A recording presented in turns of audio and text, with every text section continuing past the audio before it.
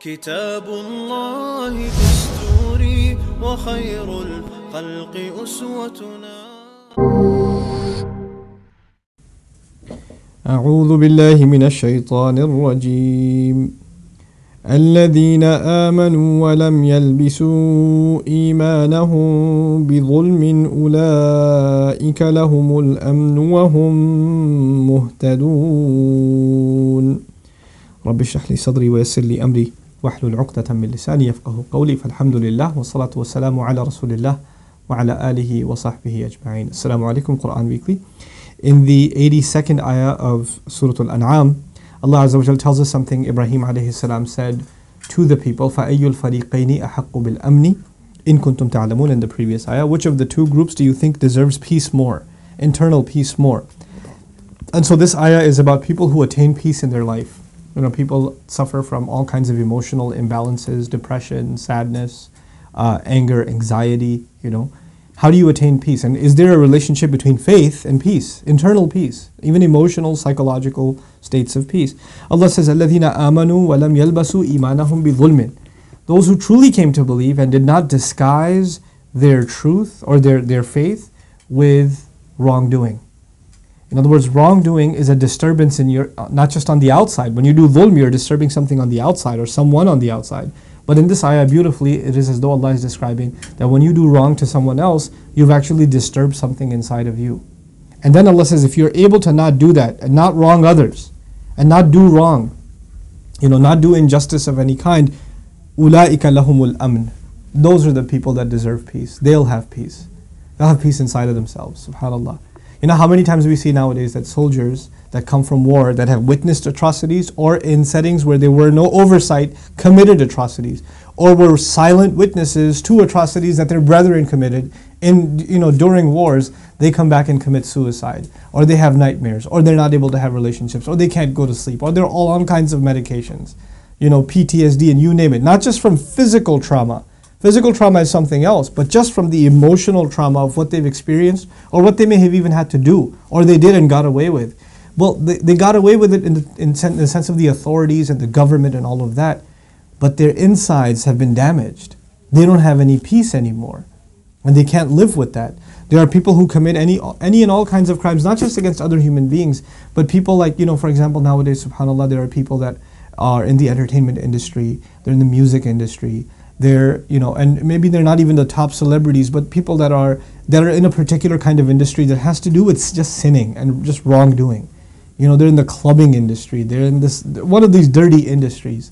These people have to literally stay on drugs to be at peace because they're just they're terrible to themselves and others when they're not in that state. They have to literally numb themselves away from reality to be able to cope just to be able to cope just to be able to deal subhanallah Allah says, people who truly have found faith, they've found something they could not find in a club, they could not find it at a party, they could not find it in a drug, they couldn't find it in alcohol, they couldn't find that peace anywhere.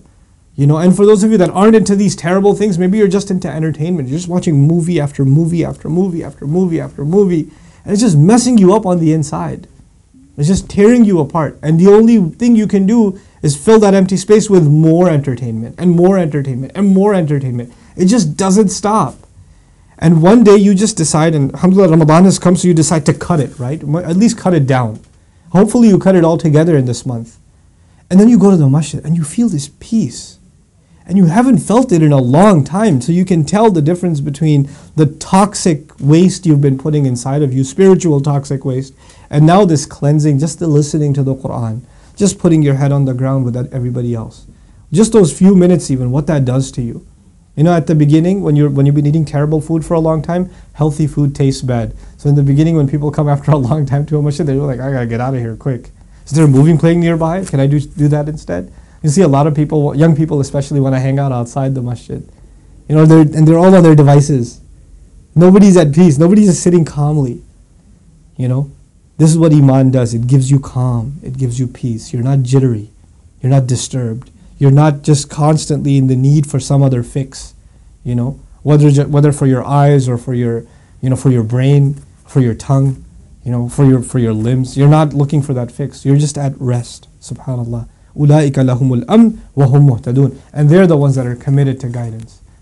in other words, Allah is saying that this without commitment, you're not, you're, it's only going to come and it's going to go. You're going to have to show some commitment to be able to hold on to that peace. Allah Azza wa Jal, in another place in the Quran, He says, "Ala bi dhikrillahi tatma'innal qulub." You should know that by remembering Allah, hearts become calm. They become tranquil. They become at ease.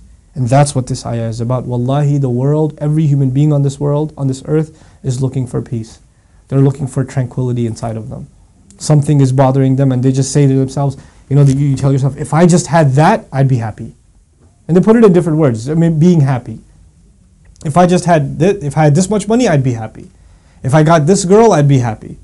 If I had this car, I'd be happy. If I had this house, I'd be happy. If I lived here, I'd be happy. If I bought that device, if I had that video game, if I did this, if I did that. We always set these goals and say, I would be happy. And guess what? The ones you set for yourselves before and you said you'll get there and you'll be happy, how long did it last? And then you moved on to something else that you, you couldn't find satisfaction in. This is the ayah that Allah Azza wa teaches us through the words of Ibrahim alayhi salam, timeless words, right? If it was true back in the day, it's still true today. Subhanallah. The people who can truly find faith and they don't replace their faith with wrongdoing. So even if you're Muslim, doesn't mean you have peace. Maybe you're replacing your faith with wrongdoing.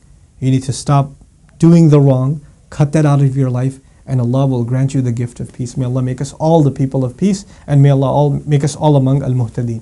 بارك الله لي ولكم السلام عليكم ورحمة الله وبركاته آمنت بالله وملائكته وكتبه ورسله واليوم الآخر والقدر خيره وشره من الله والبعث بعد الموت لا إله إلا الله. آمنت بالله وملائكته.